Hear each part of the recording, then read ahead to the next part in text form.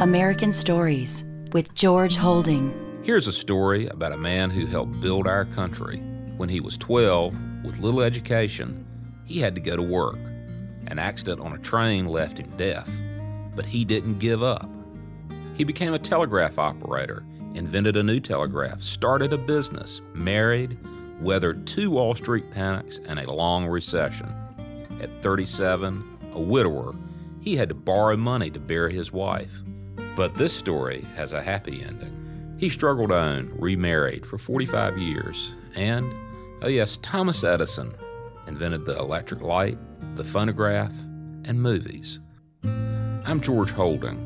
America was built by people like Thomas Edison, and that spirit, not the government, will rebuild our economy. Paid for by George Holding for Congress. I'm George Holding, candidate for Congress, and I approve this message.